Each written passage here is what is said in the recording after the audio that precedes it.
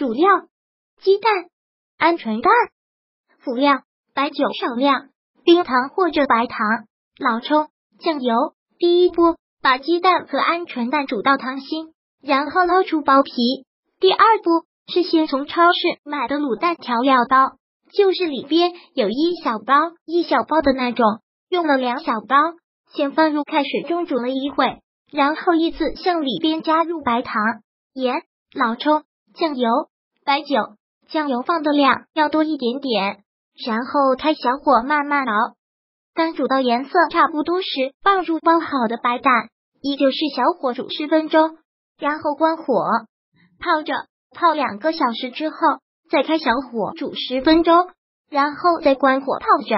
途中鸡蛋是事先泡了三个小时的，而鹌鹑蛋泡的时间要短，所以颜色不是很深。